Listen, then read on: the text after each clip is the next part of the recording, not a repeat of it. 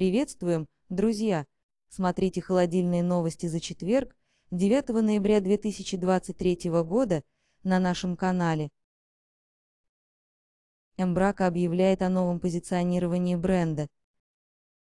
СПБ ТПП и Турецкая ассоциация ИСИП обсудили сотрудничество в области кондиционирования и вентиляции. UBC Group построит завод по производству холодильного оборудования в Казахстане. Склад для хранения ветпрепаратов построят в Бурятии. Реконструкция Ледового дворца Ишсталь продолжится в 2024 году.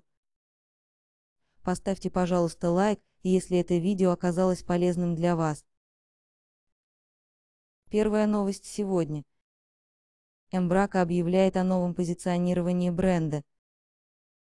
Эмбрака – бренд холодильной техники для жилых и коммерческих рынков, входящий в состав Ниды Global Appliance, только что объявил о новом позиционировании на рынке.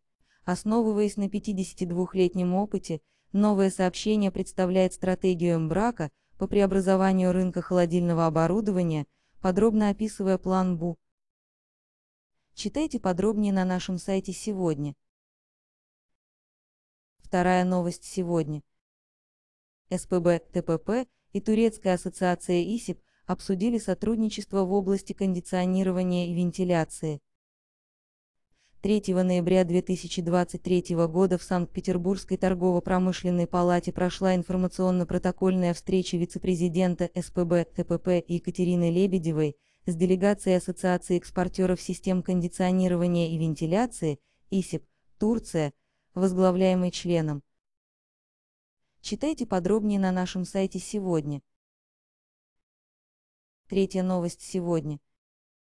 UBC Group построит завод по производству холодильного оборудования в Казахстане.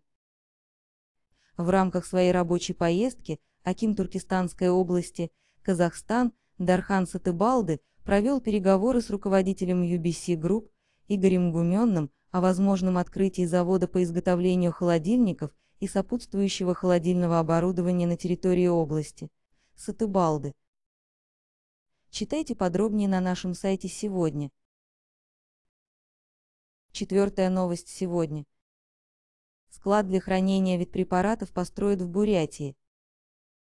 Склад располагается в Улан-Удэ, он предназначен для хранения ветеринарных биопрепаратов, вакцины, диагностических наборов, используемых при проведении профилактических вакцинаций и диагностических исследований сельскохозяйственных животных.